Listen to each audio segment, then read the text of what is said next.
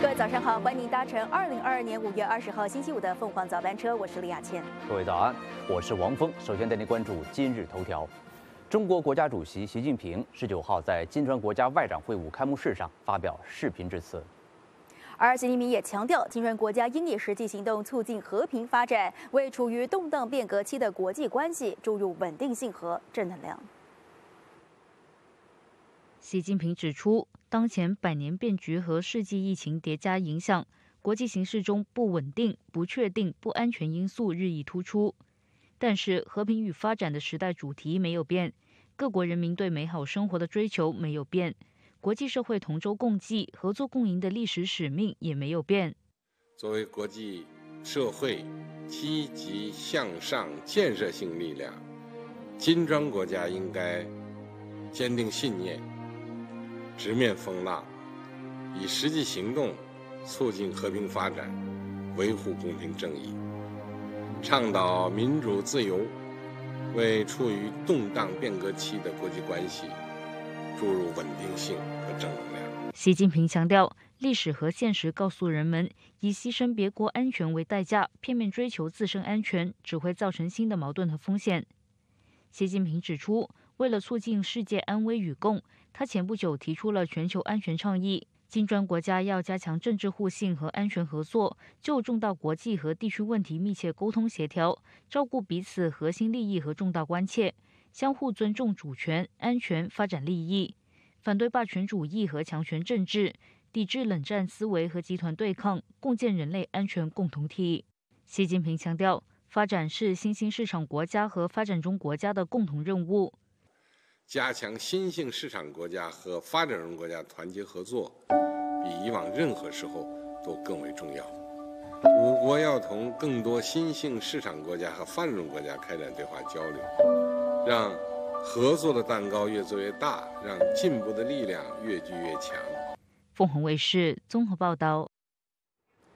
金砖国家政党智库和民间社会组织论坛十九号以视频方式在北京开幕。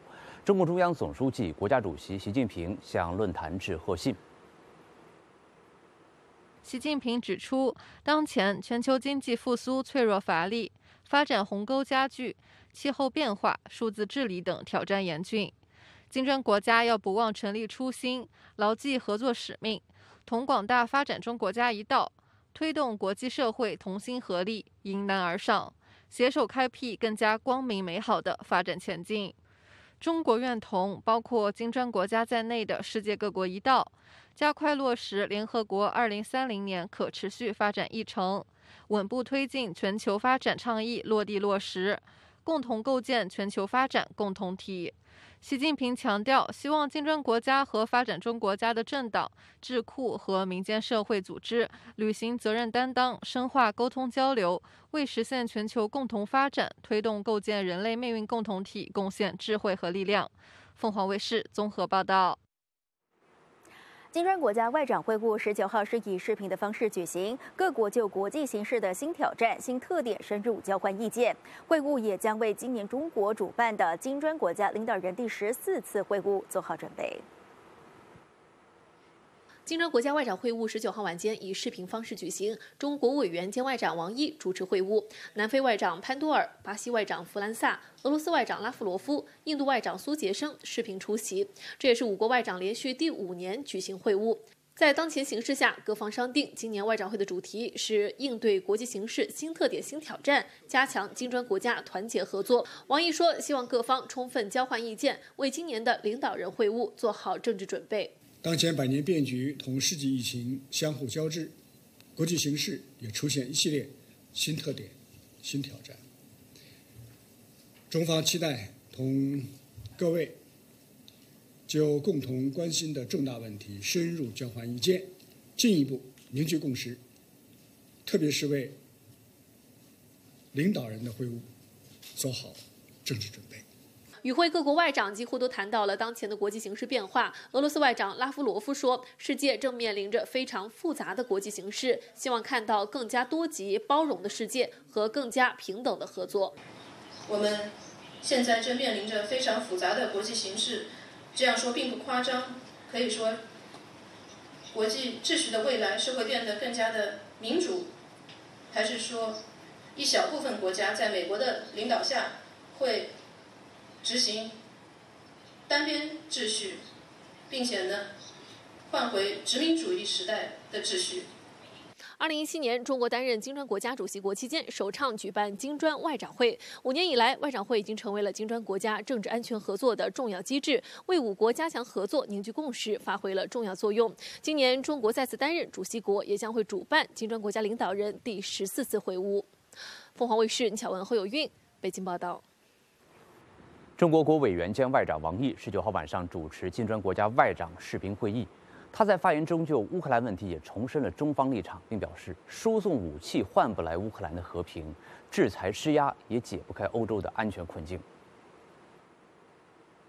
王毅在发言中重申，中方一贯主张劝和促谈，输送武器换不来乌克兰的和平，制裁施压也解不开欧洲的安全困境。各方要以实际行动为冲突降温，而不是火上浇油。王毅表示，中方支持并期待俄乌双方克服困难，继续和谈，并呼吁北约、欧盟同俄罗斯开展全面对话。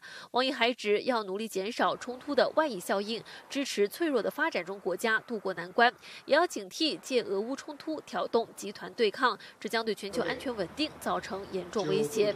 王毅表示，小圈子、小集团解决不了全球挑战，也适应不了世界的变局，呼吁各方维护以联合国为核心的国际体系和以国际法为基础的国际秩序，确保国际大事由各国共同参与，国际规则由各国共同制定。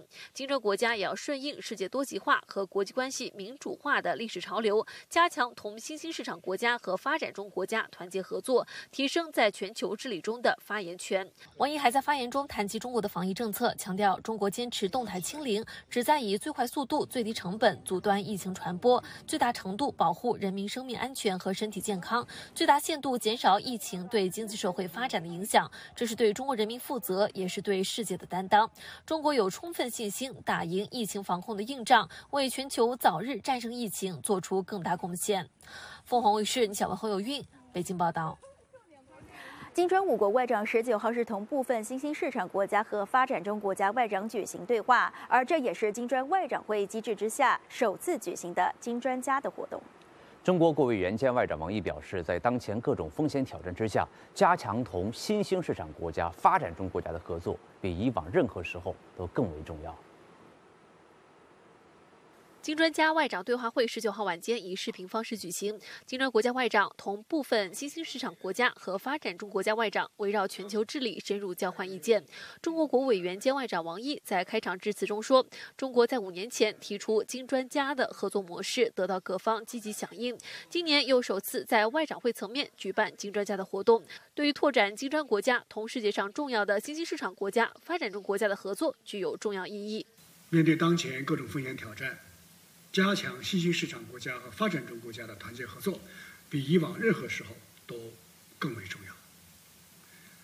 我们确定了今天晚上这个对话会的主题，是在全球治理中进一步发挥新兴市场国家和发展中国家的作用。我想这也是我们大家共同关心的一个呃方向。希望通过今天晚上对话会，那么加强我们的沟通协调。从而使我们在全球治理竞争当中，更好的维护共同的利益，促进全球的发展。哈萨克斯坦副总理兼外长特雷乌别尔季在发言中也特别谈到，当前全球遭受疫情冲击，失业和贫困上升，各国就全球议程关键问题达成共识越来越难，有必要发挥新兴市场和发展中国家在全球治理中的作用。发展中经济体是全球市场关键原材料的主要供应者。然而，在有关原材料的定价方面，可以说毫无影响力可言。我们认为，这一问题有必要得到纠正。我相信，金砖加模式将推动加强发展中国家在全球治理中的作用。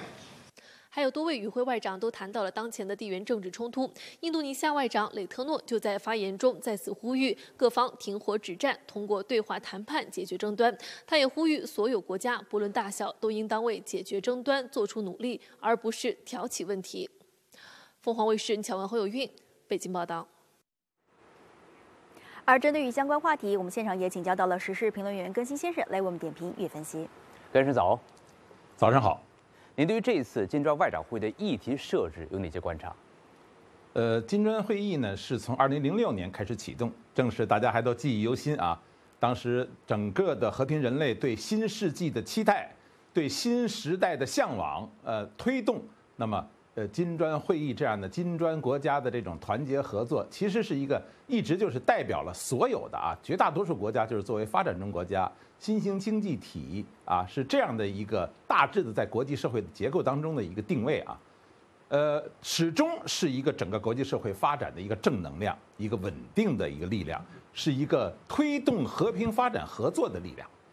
呃，这一次会上呢，我觉得特别需要关注的是什么呢？就是习近平主席讲话当中。开宗明义讲了一个非常重，请大家注意啊，今天一定要特别注意这个新的论断，就是在最近的这两三个月来，全世界大家都和平人都很担忧啊，好像是不是这样的一个和平发展合作的时代潮流的主题被呃扭曲了，被打断了，大家共同和平发展的这样一个潮流被打断。今天习近平主席明确说，和平发展合作的这个主题、这个潮流没有变。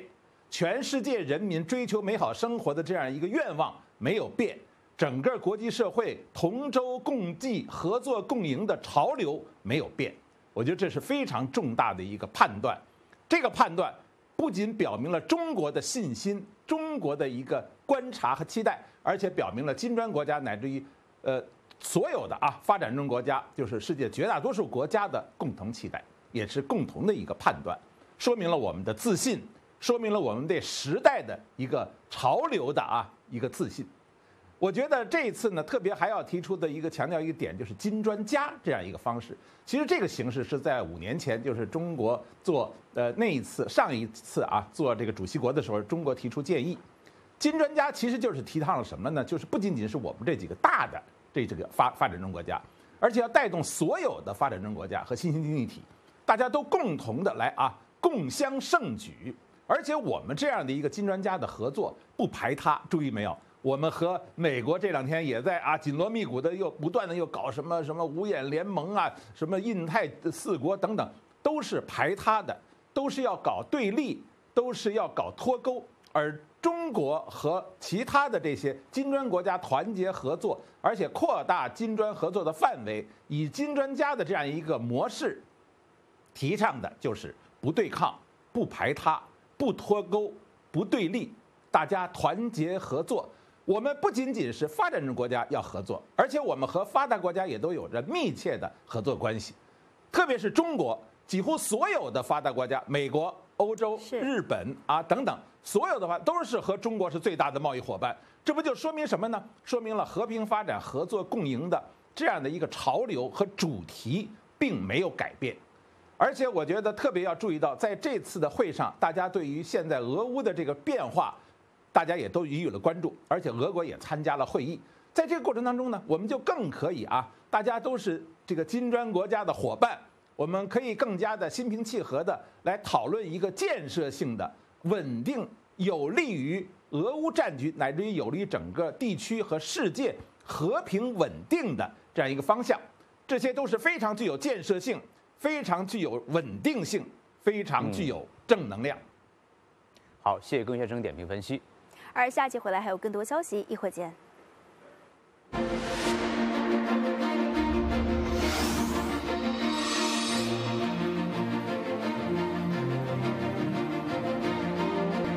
欢迎回来关注一下俄乌战局。美国总统拜登十九号宣布向乌克兰发放总值一亿美元的库存军备。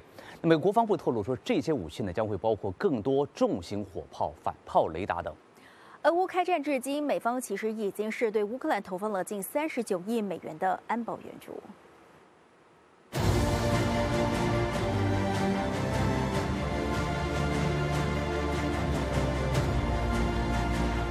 在国会参议院十九号批准新一笔约四百亿美元的对乌援助金后，总统用来调动现有库存军备的权利也增加了一百一十一亿美元。拜登随即发声明宣布，把他目前仅存的一亿美元调动权利用完，为乌克兰提供战争爆发以来第八轮库存军备输送。这批设备包含十八架重型火炮、十八架火炮拖车、三架反炮雷达、现场设备及替换部件等。That stuff will start to flow very, very soon. I cannot give you an exact date of when it's all going to show up in Ukraine, but you can imagine, having seen us do this in the past, that we're not going to sit on our hands. We'll start flowing that stuff uh, immediately. And these are all items that we have uh, provided in the past, so there's, there's, a, there's a process in place for that. 据统计，这一个多月来，美方已经向乌克兰提供超过一百架重型火炮。科比多次强调，任何武器援助都是按乌方的需求，能在目前顿巴斯地区战况激烈之下，更好的协助乌军。对于俄乌战情，国防部高级官员十九号评估指，俄军在顿巴斯北部持续推进，但暂时没有重大进展，而乌克兰仍继续试图夺回哈尔科夫。The war continues and it's very real, so it's difficult to look at events on the ground and say that there's some. eureka moment for for Russia with respect to their activities in Ukraine。此外，五角大楼称暂未决定是否将派兵保护美国驻基辅外交人员的安全。有媒体询问当局是否担心班加西事件会再次发生，科比回应指，就外交使团安保需求，国防部和国务院保持沟通。It's ultimately up to the Secretary of State to determine, uh, there or anywhere else around the world, uh, how he wants to better. Secure and protect his diplomats. And and uh, and if there's a role that we can play, then we will absolutely um, have that discussion with them. 另外，五角大楼也宣布，周四当天，参谋长联席会议主席米利和俄罗斯总参谋长格拉西莫夫通电话，讨论了一些安保相关议题。双方也同意保持沟通渠道畅通。上周五，美俄两国防长通话是战争爆发后双方首次交谈。凤凰卫视陈岭南、江玉华盛顿报道。俄罗斯国防部十九号表示，在过去二十四小时，再有七百七十一名亚速钢铁厂的武装分子投降，至今一共是有一千七百三十名的武装分子投降。红十字国际委员会表示，已经开始为战俘做登记。俄罗斯国防部发言人十九号表示，过去一天再有七百七十一名武装分子离开亚速钢铁厂投降，俄军逐一检查他们的随身物品。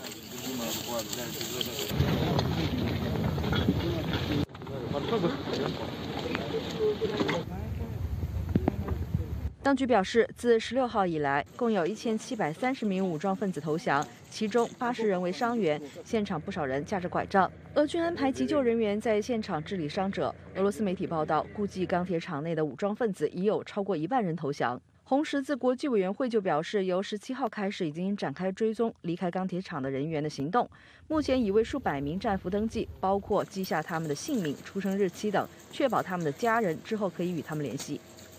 俄罗斯国防部当天并通报，空天军用空击高精度导弹在尼古拉耶夫州及顿涅茨克摧毁了乌军的 S 三百防空系统以及山毛榉 M 一防空导弹系统，另外也击中多个指挥所、导弹和火炮武器弹药库等军事据点。此外，在临近乌克兰的俄罗斯库尔斯克地区，当地政府表示，乌军在十九号清晨炮击这个边境村庄，击中一家酒厂以及多栋建筑物，造成至少一名平民死亡，另有多人受伤。另一方面，乌克兰国民警卫队发放视频称，在卢甘斯克地区与乌克兰安全部队采取联合特别行动，放置炸弹并炸毁一条连接北顿涅茨克及鲁别日诺耶的桥梁。以阻止俄军推进。凤凰卫视综合报道。五月十八号，据守在马里乌波尔亚速钢铁厂的亚速营副指挥官帕拉马尔已经是离开工厂区投降。顿巴斯地区领导人普希林就表示，被围困的乌军有一半走出钢厂，另外一半则留在钢厂。我们现在位于马里乌波尔呃亚速斯塔尔钢铁厂的左岸，我的身后，这就是亚速斯塔尔钢铁厂的主要的一条通道，可以看到。这个钢铁厂有相当大的这种面积，而且每天上班都可以看到无轨电车沿着这条道路进入亚速斯塔尔钢铁厂的环线。星期四，根据顿巴斯民兵新闻局的消息，在星期三的当天，有三名被俘虏的俄军，包括两名军官和一名士兵，也被亚速营的投降人员带出了亚速斯塔尔钢铁厂，并交还给俄方。民兵方面表示，目前已经得到了验证的亚速营的投降人员共计八百零四人，在厂区乌军的系列为三十六海军陆战旅残部的两个营，乌军的第五十三、五十四、五十六、三十六、五十五零三旅的残部，还有乌军的边防、警察、应急等部门的零星人员。据估计，在亚速斯塔尔冶金厂内，乌军的总人数为两千五百人之内。我们现在位于呃顿涅茨克的战俘中心。отношения нормальные. Меры физического воздействия, психологического на меня не оказывают никто. Отношения отлично. Посмотрели ногу, сказали, что все нормально, она нет. Кормят, содержание отлично. На содержании все отлично, отношения отлично, претензий никаких нет.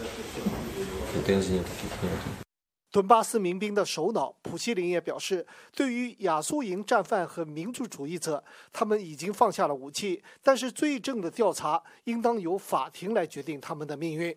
俄罗斯联邦委员会宪法立法和国家建设委员会负责人安德烈·克里萨斯认为，乌克兰方面能够希望以战俘来交换亚速营的战俘，但是俄罗斯方面表示反对。克里萨斯强调，刑法规定。在俄罗斯暂停使用死刑，那么也没有任何法律可以阻止顿巴斯地区在执行自己的法律的条例。五月十八号，俄罗斯总统新闻秘书佩斯科夫也强调，俄罗斯与乌克兰之间的谈判没有任何的进展。莫斯科方面已经证实，基辅完全没有兴趣与俄罗斯继续就谈判来解决俄乌冲突的要件。凤凰卫视卢宇光、鲍载宗、伊万。马里乌波尔的报道，在俄乌战争的一开始，俄罗斯就控制住了切尔诺贝利核电站隔离区。那随后呢，又控制了欧洲最大的扎巴罗热核电站。那乌克兰官方指出，战火对于核电站还有周边的环境造成了严重的危害和影响。俄罗斯军队经切尔诺贝利隔离区从乌克兰北部进入基辅州，各种军备和人员将大量核辐射粉尘甚至污染物带出了隔离区。虽然俄罗斯军队已经撤离，但留下的爆炸物严重影响着切尔诺贝利隔离区森林火灾的扑灭。Вони нанесли дуже багато шкоди нашому Чорнобильському біосферному заповіднику. Вищують 2,5 мільярди гривень. Майже 100 одиниць сучасного обладнання. аналогів якого немає в Європі. Вони розграбували та знищили багато комп'ютерної техніки і майже 12 тисяч гектарів. Це величезні втрати для флори та фауни, і ми розуміємо, що частину екосистем ми втратили назавжди. Окупанти після себе залишили велику кількість вибухових пристроїв, замінували територію, працюють над тим, 欧洲最大的扎波罗热核电站也早已被俄军占领，周边的环境同样也被世人关注。乌克兰环境和自然资源部部长卢斯兰斯特莱斯回答了本台记者关心的问题。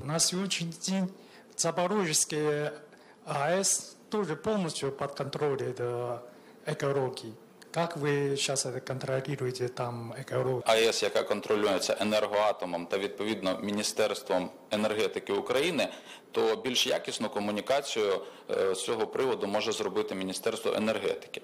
Я можу сказати лише одне: що ми сьогодні отримуємо дані про стан впливу радіаційного фону на навколишнє середовище і перевищень або якихось сигналів, які можуть викликати небезпеку, у нас немає.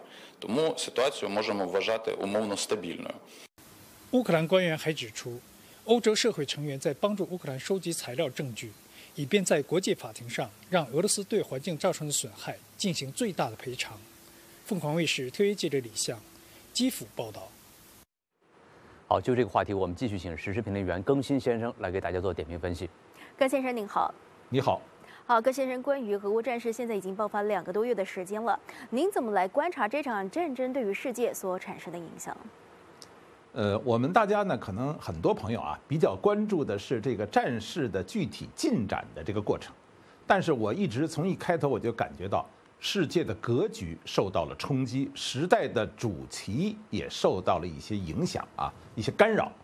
呃，但是呢，随着这两三个月到现在马上就快到三个月了，我觉得呢，实践证明啊，任何力量，无论是美国那么强大的霸权，它那么霸道的这些行径，以及俄国和乌克兰两国之间的这样的一些对立，这些战争。我觉得呢，都不能改变时代发展的这个主流，也不能改变整个世界格局的一个基本框架。这个基本格局是什么呢？其实从冷战结束之后啊，整个世界大致上出现了一个，我一直就概括，我在十几年前我就概括叫做两大带两群。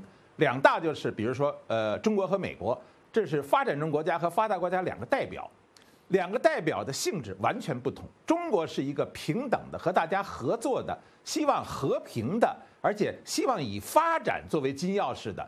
大家所有的国家都合作，不仅是发展中国家，不仅是金砖国家，也包括了呃发达国家，而且我们还要向发达国家学习更多的东西啊。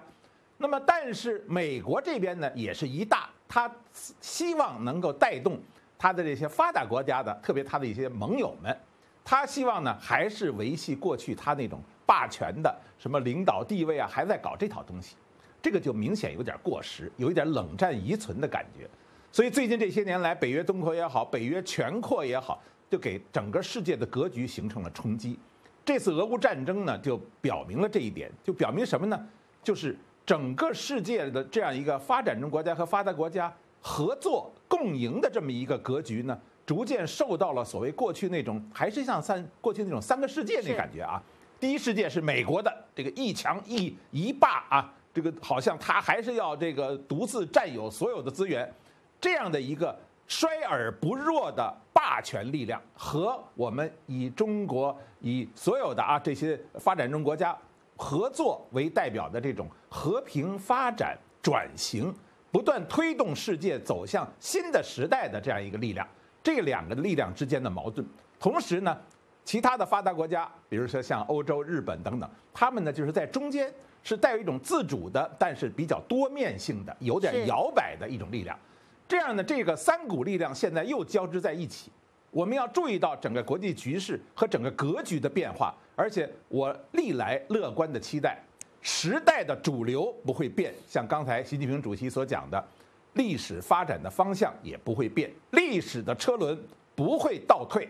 这就是我们今天不仅是中国，是整个和平人类的共同期待和自信所在。好的，谢谢根先生所为我们做的点评与分析。再来关注一下美国国内焦点。美国国会参议院通过向乌克兰提供四百亿美元军事、经济和人道援助。那参议院是以八十六票赞成、十一票反对通过了这个援助法案。而反对票全部都是来自于共和党，他们认为援助数目过大，这一笔资金应该是用于解决国内问题。援助资金用于向乌克兰提供武器及设备，以及维持乌克兰政府运作。这个法案早前呢已经是在众议院获得通过，将会由总统拜登来签署生效。那参议院多数党领袖舒默表示，法案将会为乌克兰提供巨大的帮助，以保证乌克兰获得胜利。另外，拜登在白宫会见瑞典及芬兰领导人，商讨其入北约事宜。相关话题，我们立刻也要连线给纽约直播室的记者陈菲菲，带给我们最新的观察。菲菲你好，时间交给你。谢谢雅倩。我们是看到美国国会参议院十九号表决通过了四百亿美元的对俄援助金，那下一步将会交由总统拜登签署。The yeas are 86, the nays are 11, and the bill is passed. 参议院十九号通过一笔总值约四百亿美元的对乌援助金，比拜登政府申请的数额高出约七十亿美元。这笔拨款包括六十亿美元乌克兰安全援助计划资金，允许当局进行武器采购；九十亿美元补充美国军备库存；近四十亿美元用来资助欧洲司令部工作，以及近十亿美元难民援助。这笔拨款中，对乌军事援助总额达到两百零一亿美元，可用来提供例如爱国者防空系统等高端设备。两党原定于上周。表决这笔拨款，但保守派共和党参议员保罗因要求加强监管援助金的使用情况而反对加快拨款审议程序，援助金的表决也因此拖延了一周。周四当天，保罗又批评这笔拨款将增加美国纳税人的负担。Each income tax payer in our country would need to pay five hundred dollars to support this four hundred this forty billion dollars, which by some accounts is a down payment and will need to be replenished in about four months. Small businesses, hardworking Americans simply can't spend any more of the money we don't have. We can't just keep giving away money. 但最终拨款获得跨党派广泛支持，以大笔数闯过参议院。此外，这笔援助还将在为总统授权一百一十亿美元的资金动用权力。拜登上任至今，已经承诺向乌克兰发放四十五亿美元的安保援助。国防部高级官员重申，当局对乌安保援助不会影响美国在亚洲区的盟友。目前，国会批准对乌援助总金额已经达到五百三十六亿美元。凤凰卫视陈令南、江玉华盛顿报道。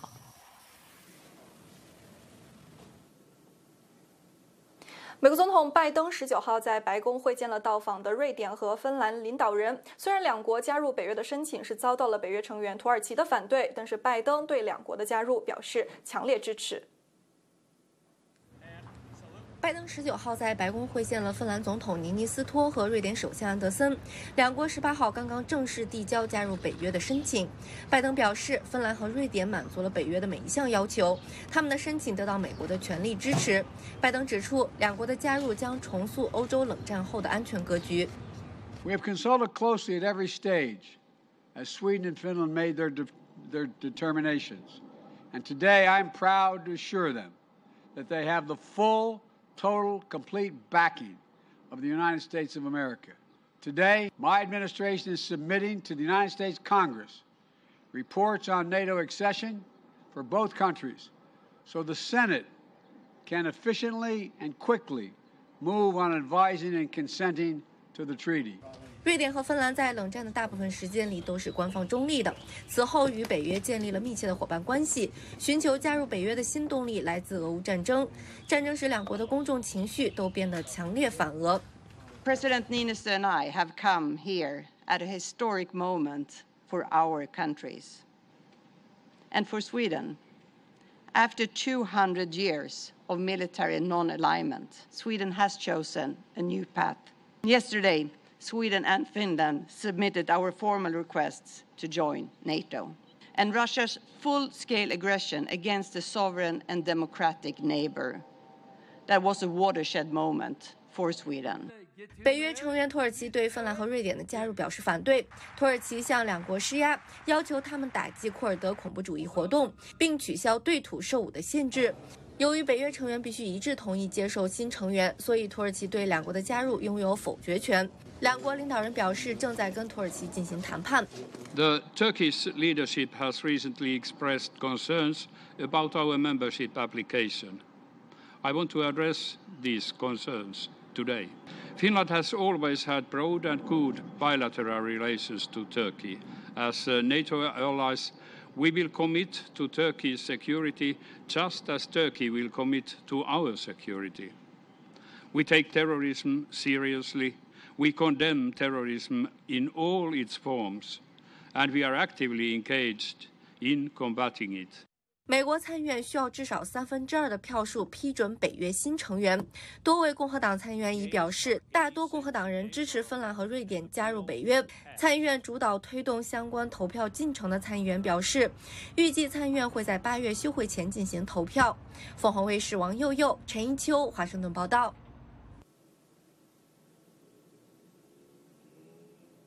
我们再来看美国媒体的其他关注焦点。CNBC 周四报道称，麦当劳已经和亚呃西伯利亚地区的授权运营商达成了协议，向其打包出售俄罗斯的全部业务。具体来说，俄罗斯的所有麦当劳分店都将改为一个新的品牌，但是现有雇员可以留下继续工作至少两年。一九九零年，也就是在苏联解体前一年，麦当劳是在莫斯科设置了第一家店，后来在俄扩张到八百五十家店左右。今年三月，俄乌战争爆发之后，麦当劳是暂时关闭了所有在俄的连锁店。接下来我们看美联社周四的报道，美国疾控中心顾问、斯坦福大学医学院儿科教授格雷斯里是建议美国五到十一岁的儿童接种辉瑞新冠疫苗的加强剂。美联社表示，预计这一建议将会被美国疾控中心采纳。那目前呢，疾控中心官方是建议十二岁及以上的美国人接种加强剂。那当前美国的感染数字是再度攀升，七日平均新增病例是突破十万。越来越多的证据显示，第三针加强剂对于最新的变种有更加的保护作用。那目前美国只有五岁以下的儿童还没有被授权可以接种新冠疫苗。最后，我们看彭博社是援引知情人士消息爆料说，苹果公司的 AR、VR 头戴设备已经展示给了公司的董事会。种种迹象表明，苹果可能会在接下来几个月推出这款新品。那这意味着苹果将会跻身增强现实领域和谷歌以及 Facebook 的母公司 Meta 等等科技巨头一较高下。那苹果呢，目前并未就此置评。以上就是美国媒体的关注焦点。下面把现场交还给香港。好的，谢谢菲菲所为我们做的报道。而下节回来还有更多消息，一会儿见。一会儿见。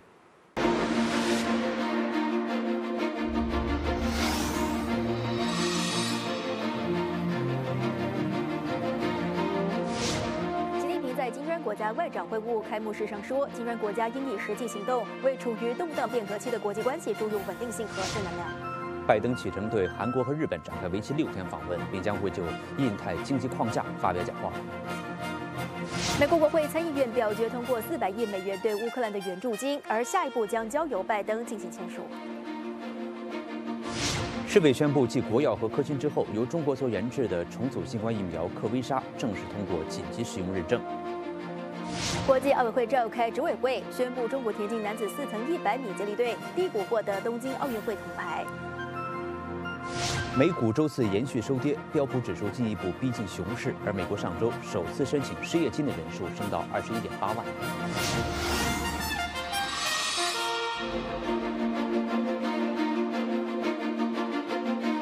欢迎回来，更多消息。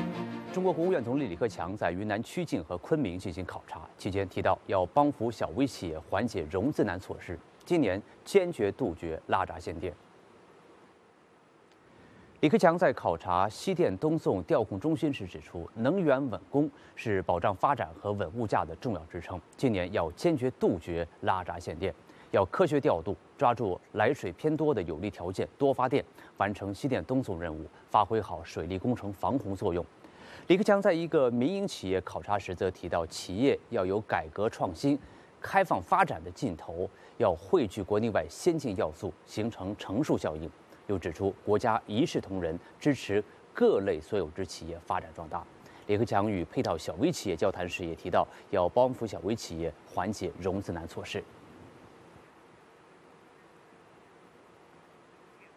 另外来关注的是，由中国康希诺生物股份公司研制的重组新冠疫苗科威莎正式通过了世卫组织紧急使用认证，而这也是继国药和科兴疫苗之后第三款通过世卫组织紧急使用认证的中国新冠疫苗。而我们看到世卫组织在声明当中也表示，这样的一个疫苗对于预防新冠有症状感染的有效率是百分之六十四，对于预防重症的有效率则为百分之九十二。世卫组织表示，紧急使用清单技术咨询小组已经是对康希诺新冠疫苗的质量、安全性、疗效等完成了评估，确定这一款疫苗符合标准，并且益处是远大于风险。对于预防有症状感染的有效率是百分之六十四，对于预防重症的有效率则为百分之九十二。免疫战略咨询专家组就建议，在所有十八岁及以上年龄组当中，使用单剂量零点五毫升的康希诺疫苗。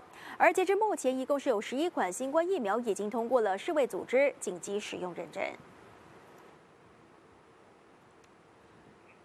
我们再来关注一下台湾的疫情。台湾的疫情依然处于一个上升的势头，疫情指挥中心预计说，未来的一周将会达到高峰。而目前全台各县市都陆续宣布学生进行远距教学的规划，但是各地的规定因为有所不同，也引发了家长抱怨。新北市长侯友谊日前授权学校自行决定要实体或是线上上课，但家长质疑，这等于把责任变相抛还给学校。那目前我们所掌握的情况，呃，大概是有大概三重、泸州、新庄、双河。以及板桥、土城等等这些区域的学校，几乎现在目前已经讨论出来，可能要做一个停课的，呃，线上学习改换成线上学习的一个决定。目前台湾六都都已宣布，从二十三号开始实行线上远距教学，但适用范围和规定各有不同。而在台北，有家长质疑适用对象为何只有国小到高中，幼儿园被摒除在外。幼儿园的部分，因为它是属于所谓的托婴，就是说是让家长能够有孩子有地方可以带，主要是要解决双薪家庭的问题。而在宜兰一所护士专科学校，此前有累计上百名师生确诊感染新冠。实施一个多礼拜的远距教学后，在十六号恢复实体课程。但学生认为，现阶段尽管会乖乖佩戴口罩，但课桌椅共用等因素，因此不适合恢复实体课。学校最新公告，所有课程自二十三号起采取远距教学到学期末。而宜兰县政府也宣布，县内所有学校二十三号起暂停实体课一周。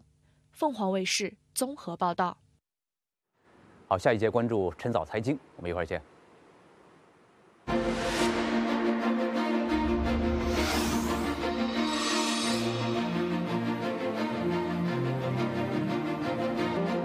迎回来财经方面来关注到的是，美股周四收跌，而延续了前一天的跌势，标普五百指数是进一步的逼近熊市。市场仍然在评估美国通胀形势以及美联储的激进紧缩政策立场。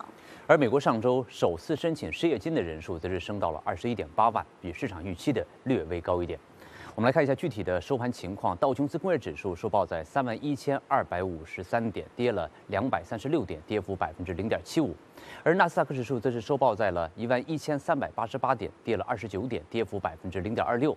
标普五百指数收报在三千九百点，跌了二十二点，跌幅百分之零点五八。好，详情来看一下本台驻纽约记者发回来的报道。在周三惨遭血洗之后，周四美股反弹乏力，抛售势头继续，华尔街三大股指最终还是全面收跌。那市场是高度关注美股是不是会全面跌入熊市区间。目前道指是距离五十二周高点下滑了百分之十五左右，标普百指数则下滑了百分之十九。那这是距离熊市区间只有一步之遥。在周三这一个交易日，标普百指数就下跌了约百分之四，是二零二零年六月以来的最大跌幅，一天就从市场上蒸发了一点五。万亿的美元的市值，那纳斯达克指数呢，则已经在熊市深跌，目前是距离五十二周高位下滑了将近百分之三十。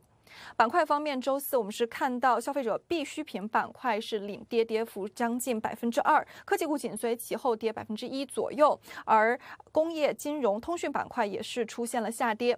今年以来表现相对较好的能源板块在周四也是遭到了抛售，这说明市场的抛售情绪是在蔓延。那这种避险情绪也是影响到了其他的资产，那更多的资金是涌入了美债市场，这是推高了美债价格，压低了美债收益率。那么十年期的美债收益率在周四。是来到了百分之二点八五左右。那黄金的价格呢，则是出现上扬，涨幅是在百分之一点三左右，至每盎司约一千八百四十美元。经济数据方面，劳工部是公布了上周的首次申请失业救济人数是连续出现第三周的上扬，目前是来到了二十一点八万，这是今年一月以来的一个最高水平。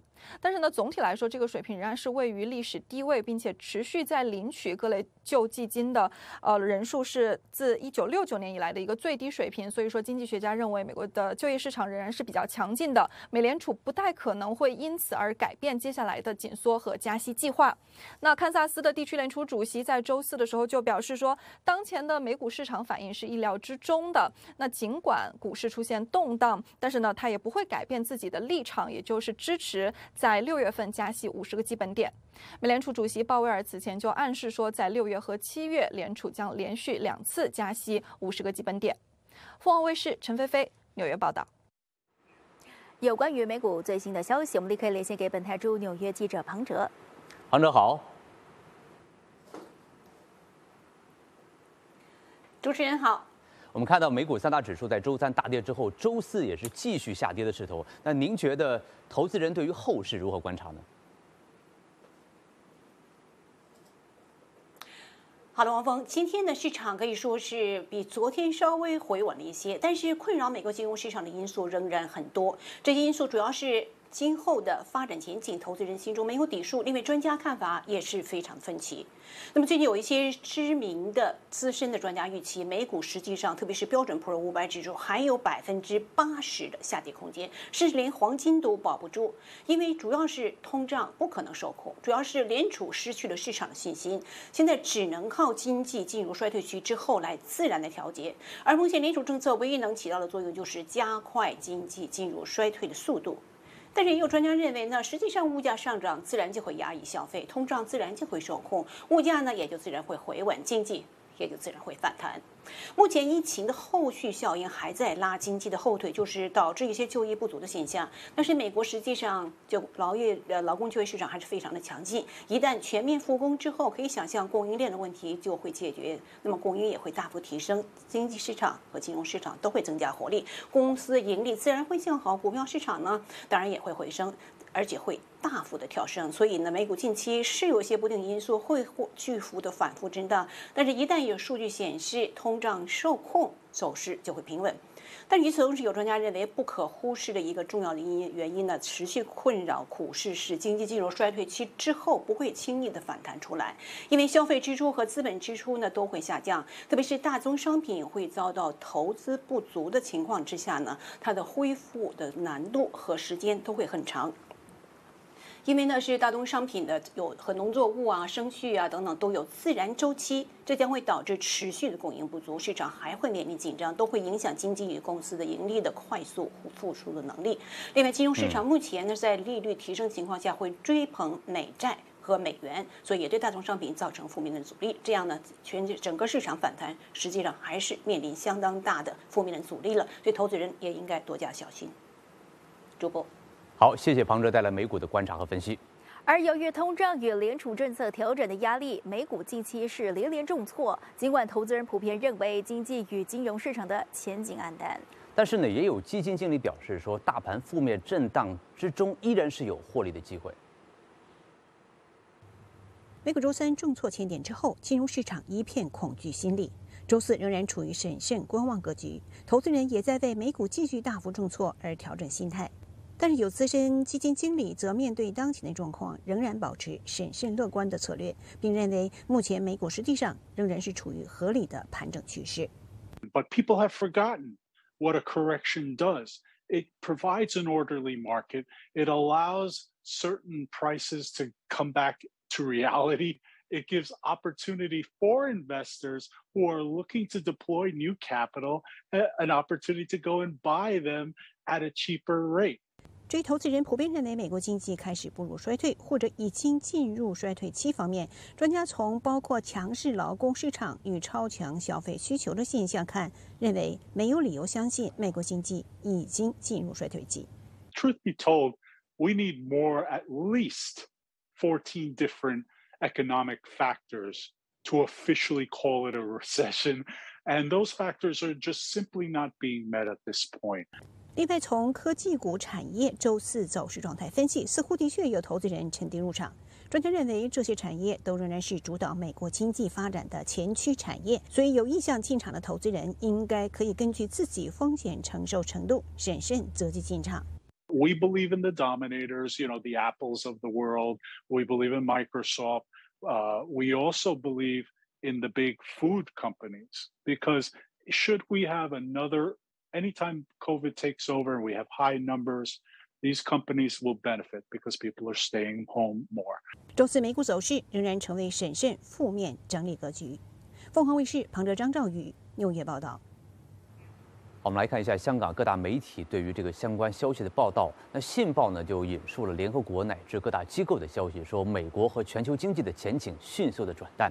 联合国呢在周三就把全球今年的经济增长预测由原来的百分之四降到百分之三点一，称俄乌战事促使全球的粮食还有食品价格上涨，以及加剧通胀压力，这也打击了刚刚走出疫情的脆弱经济复苏。而摩根大同学减了美国今年和明年的经济增长预期，主要反映股市下滑、按息上升以及美元相对强劲打击前景，但是仍然预期经济可以软着陆。摩根大通的经济师就指出，金融条件已经收紧，因为正如联储局主席鲍威尔近日所言，当局需要让经济增长放慢，将会采取一切措施来确保达到这个目的。这也让他们更加相信，美国的 GDP 在未来数季度将会降到潜在增长率以下。而下节当中，我们还有更多的消息，一会儿见。一会儿见。